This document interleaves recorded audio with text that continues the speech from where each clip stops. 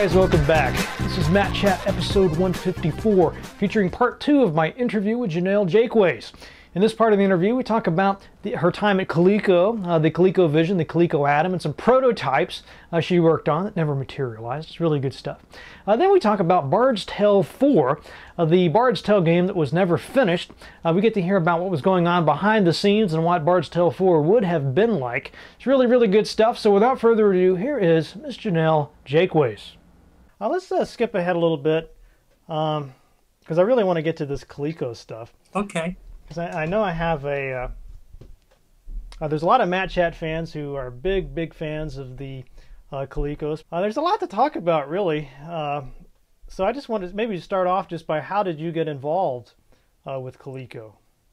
Okay, well, there's actually a role play gaming tie to it.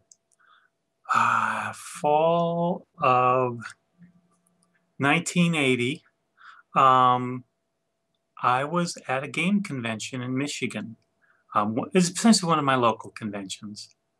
And I was uh, meeting some people there for the first time. One of them was a game designer named Mike Stackpole. He's been associated back then with the Tunnels and Trolls game line and had designed some adventures and, and settings and was actually probably working on some rule revisions for them. Met him at that time.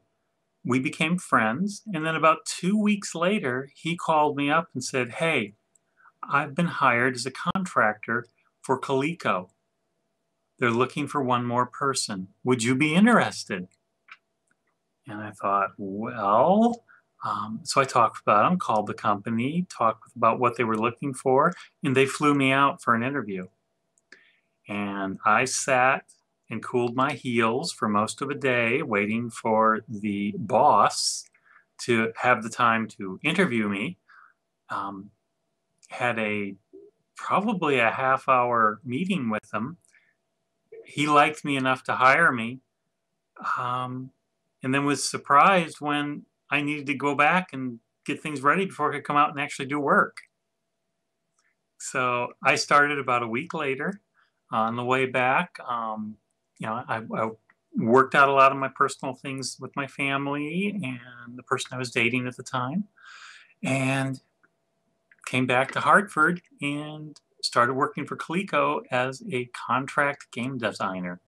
And it wasn't on ColecoVision or even any of the later arcades. It was um, we were creating a piece of game, a role-playing game to go on a piece of technology that used a sound generating chip or a speech generating chip, which was hot technology back in 1980, and a barcode reader which was hot technology back in 1980. Well, they found a way to do it cheaply. So we had a toy that would read the content of a barcode that was fed on a card through a, a rolling reader and convert that into the speech phonemes. So we were figuring out games that used very short phrases that you could read off the card, a little bit of randomization. So we did um, we did a role-playing game, sort of, kinda. We did um, something very simple. I can't remember the name, but it's basically it's a detective game where you guess, you get clues and you guess which detective it is. Now, I still actually have the artwork for that, so someday some game museum is going to get something from me. Um, and we worked on that for a few a while, and the product didn't go anywhere. Mike stuck around for um, another couple months, and I stayed. I know the the Coleco obviously had a lot of, uh, or Coleco had a lot of competition, you know, mm-hmm. with all these other systems and, and computers and everything. I was always been curious, what was the environment like? I mean, was there sort of this bitter rivalry, or was it just friendly, or you know, how did it? How was it like from your point of view? The toy. Well, the first thing to understand was that Coleco was first and foremost a toy company. So they had a professional rivalry and I guess understanding with other toy companies like Mattel, like um, Parker Brothers. Parker Brothers was still in business, like Milton Bradley and Ideal. Um, you know, there was all, you know, they were competitors and always just trying to one up each other at Toy Fair every year. Well, the, they saw in 1982, 81, 82, the amount of money being spent on game cartridges, and that their, one of their big competitors, Mattel, had jumped in. Um, so they looked at both this, they were looking at the systems and trying to figure well, how can we, how can we make money for the company doing this? And especially they saw the Atari cartridges that were selling for what, 25 to $50 at the time. Well, they had four bit, they had 4K memory parts in them, um, the ROMs. The, even back then, those were relatively cheap, and they saw they saw it as printing, being able to print money with those. So they began a design campaign. I wasn't actually in my part of my group was in that. Unfortunately, at that time, um, I was working for Advanced Research and Development, and there had been some in, internal uh, political maneuvering, and the group I was in got gutted. Um, we lost basically almost all our engineers. We were down to a few designers. Um, and but then all of a sudden, and they, they lost them inside the company to another director. So all of a sudden now there was this press to design um, these products. Well, the other department that had won the political battle was an engineering department. They did, they, they set things up for production. They didn't do design. They didn't know the first thing about what they really wanted in these products. So they came back to the research and development team. And um, between my boss and one of the other engineers still on the team, they worked to create the specs for a game that used the, the parts that are in the modern, you know, when I say the modern, the ColecoVision that actually shipped, which was the Z80 processor and the TI color chip. Those were the core of the graphics and processing. What they didn't realize at the time, after we got into it, is that the TI chip, the TI, needed to store bit arrays for its graphics those don't go on a 4K memory part. so all of a sudden, they're all that they're heavily invested in this product, and they're discovering that it needs more mem much more memory than the Atari. So that's kind of what it was. Is there was to try and get those, and eventually there was the pressure to get the cost of the parts down. That would be a perfect lead-in for the my question about the uh, the Adam. But you know, before we before we get into that, I I mean, the, the system is known for these really good um, arcade ports. You know, the, the Donkey mm-hmm. Kong, uh, some, some, you know, Mega Race. Um, how how did what was it about the system that enabled that uh, degree of accuracy? Well, the thing was, it was it was those um, eight by eight um, memory or um, graphics blocks that we worked with.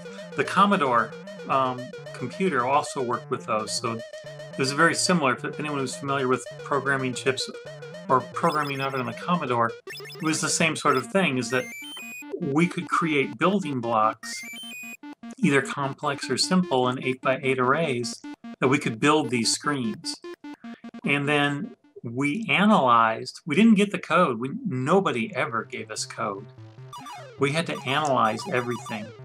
So, both visually and for play, we were studying these arcades and recreating them um, on a horizontal format. Most of those arcades, if you remember, they tended to place the video monitor vertically. If you think about it, there were a few that didn't. But in most cases, the video monitor, as you played it, was placed vertically. So there were these tall format screens. We had to figure out how to do those screens on the horizontal ColecoVision and not do the cheap version where you cut it in and just use the center of the screen. So it was just analysis and having good tools to work with. When I say tools, um, bit parts. We didn't have graphics tools till near the end of the project. Does that answer the question? Sure. Uh, so about this uh, Adam. Okay. you know, uh, I mean, I know there's a lot of interest in, in collecting uh, uh, for the Adam, but mm-hmm. you know, even today, you know, I, I read the you know what the Adam was and what it was uh, the the plan for. I mean, it sounds like a really good idea. It know? was really ahead of its time. So, I mean, what would happen? I think there was a number of from what I this is from what I understand from talking with some of the engineers after the fact who were, you know, bitter about everything that happened. It was poorly engineered. Um, it was rushed through specs. They, they had a great idea from the software and what the product was.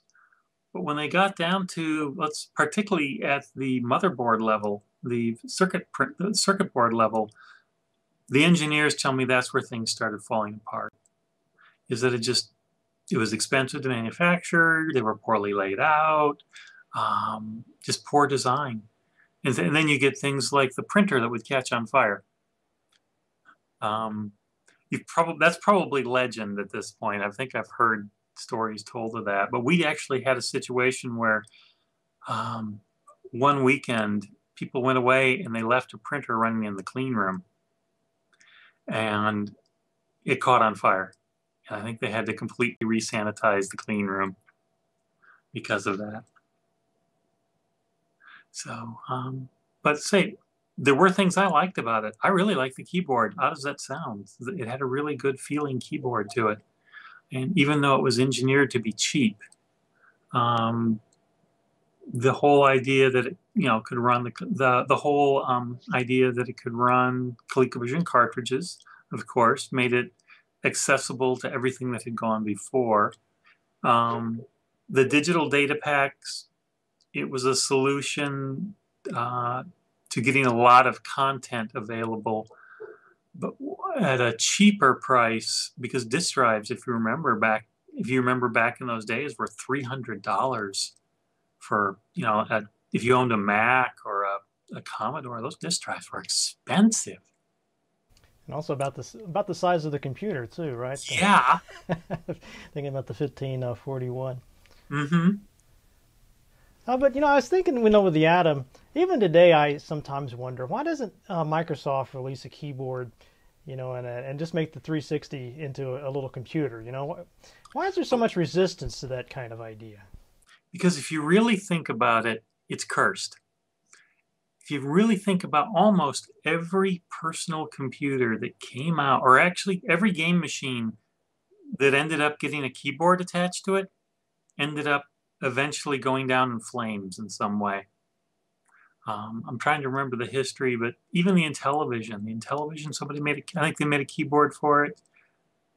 That was pretty much the end of the Intellivision. Um, every system thereafter, I'm, I'm trying to remember my way through, but they, they have been fabulous disasters afterwards.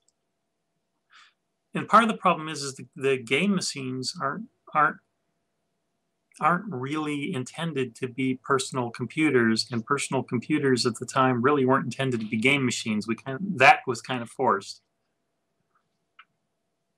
Well, let's talk about uh, something that to me is a very tragic uh, topic. Mm-hmm. Uh, this whole uh, Bard's Tale 4 oh. Uh, project. I know a lot of uh, you know Matt Chat viewers are you know, like I didn't even know there was going to be you know Bard's Tale 4. Uh, I looked it up on Wikipedia and it says unpublished. You know, it's very, a very mm-hmm. sad thing. So what I want to know is why don't I have Bard's Tale 4 sitting back there on my shelf? um, Bard's Tale 4 was not done by Interplay. That's the first thing. Interplay had um, parted company, or EA, I think, had parted company from Interplay at the time. I wasn't intimate with that. Um, Interplay had been one of my clients at one time. Um, but I got a call from a producer who was friends with Brian Fargo.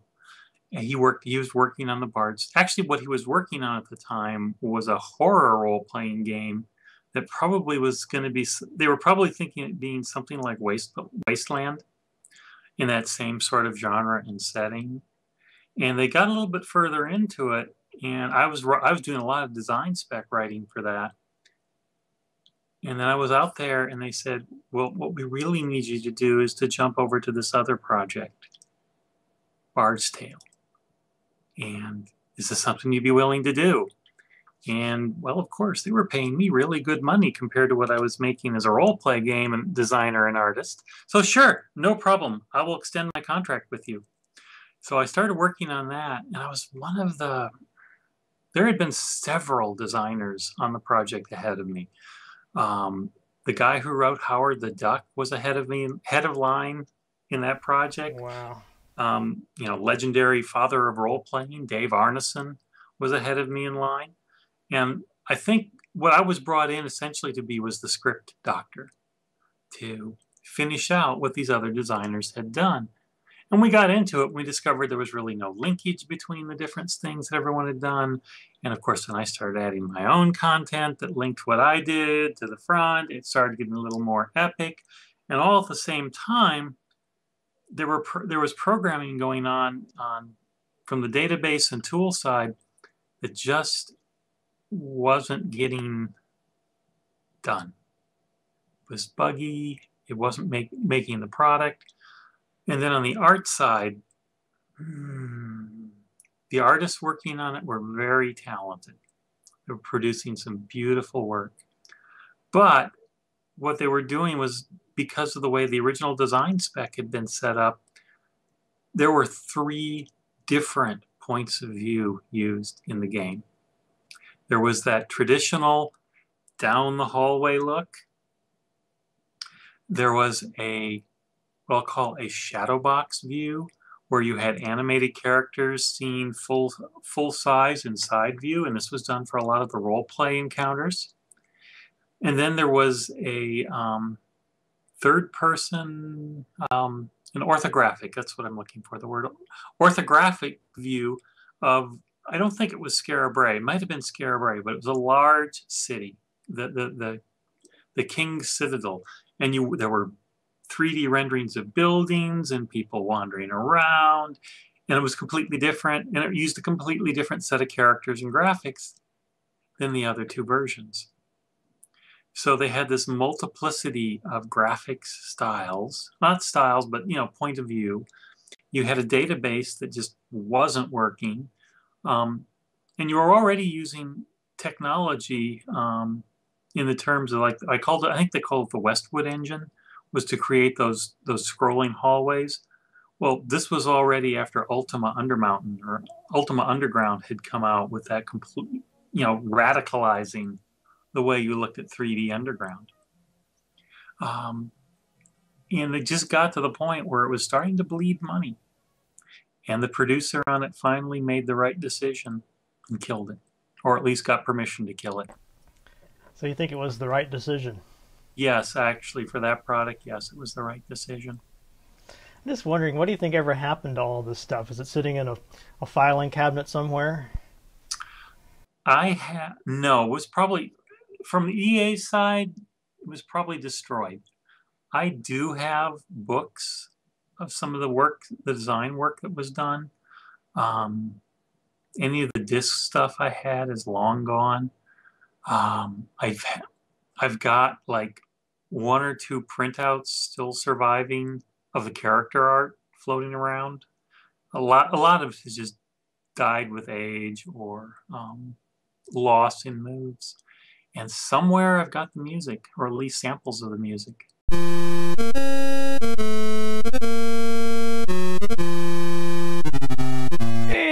That's all for this week's episode. I hope you guys enjoyed that. Should be back next week with part three of my interview with Jennell Jaquays. A lot of great stuff coming up, so stay tuned for that. As always, I want to thank everyone who has supported and donated to the show. It really means a lot to me. It's keeping these episodes coming. Uh, so if you haven't donated or would like to again, just go to armchairarcade.com. I'll look for the Matt Chat link and you're good to go. Only takes a few seconds and it means a lot to me, so thank you very much. Also, I need your ideas for future guests.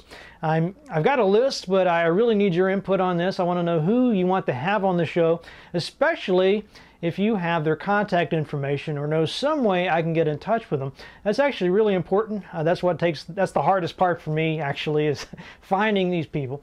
Uh, but if you do know somebody, maybe you can uh, introduce me or uh, at least give me their contact information. I'll happily contact them, send them an invitation, and hopefully have them on a future episode. So thank you very much, guys. Anyone who is willing and able to do that, much appreciated. All right, what about that ale of the week? Well, this week I have a Moylan's Dragoons Dry Irish Stout. Uh, this is brewed in Novato, California. Got a bit of history to it. Apparently, this was brewed to commemorate General Stephen Moylan, Irish born commander of the 4th Continental Dragoons during the American Revolutionary War, but it is made with hops imported from the United Kingdom. So, not quite sure how that's supposed to work out, but apparently, it's won a lot of awards and is really good stuff. So, let's get it open and see what it's all about. So I got some Moylan's Dry Irish Stout here in the old rather excellent drinking horn. Been smelling this and trying to decide what, what does that smell like. It's kind of a kind of a fruity, you know, sort of blueberries and licorice kind of thing. I don't know where that's coming from, but it's very, you know, very pleasant smell. It's uh, quite nice, you know. So let's give it a taste. Hmm. It's kind of a, you definitely can definitely taste a lot of that sort of fruity taste. You know, if you eat a bunch of blueberries that sort of aftertaste, that's sort of what you get here. Kind of a, you know, it looks like a Guinness and you would think it would taste like that, but it's actually a lot lighter. Um, there's not nearly as much uh, foam or head on this, uh, for one thing. It's actually quite drinkable. I can see why it won those awards.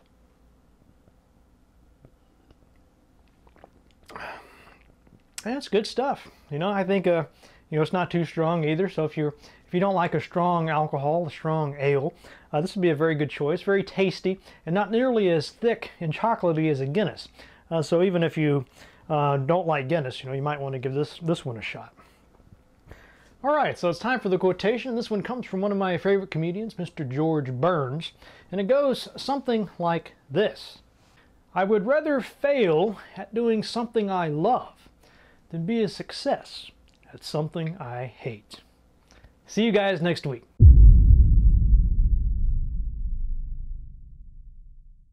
I'm booting these games and I'm going right in and I'm killing rats, you know, and I'm thinking, you know, I have been asked to go kill rats now for 20 straight years, okay? and it just seems so insane at this point that people had not you sort of, you know, changed it up a bit, right?